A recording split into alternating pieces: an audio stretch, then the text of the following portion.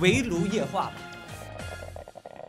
今天不仅我们几个跟大家聊聊天，现场还有我的亲人，包括我的母亲、我的舅舅，还有我的乡里乡亲，今天也在现场。你们也聊一聊来到这里的这个感受。我的父母呢，他他们小时候其实是东北环境下长大的。我虽然在长在内蒙，但其实我家的文化是东北文化。嗯，小时候也吃酸菜，然后炖炖菜这些。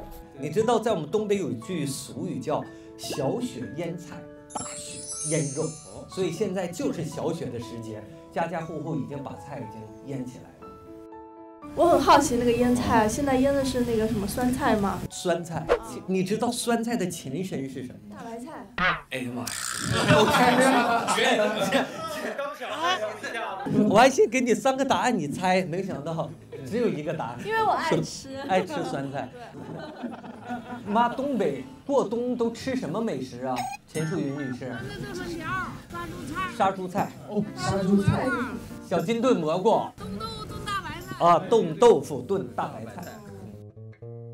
来喝杯茶吧，啊，大家也喝杯茶吧，好不好？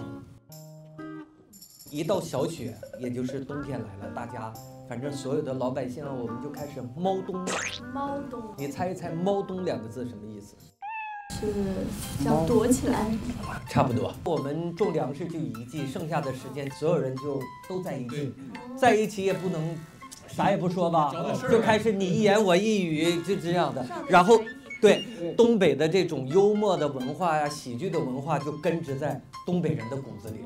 我刚才理解只是因为太冷了要躲起来，但是没有想到这个后面有这么多的。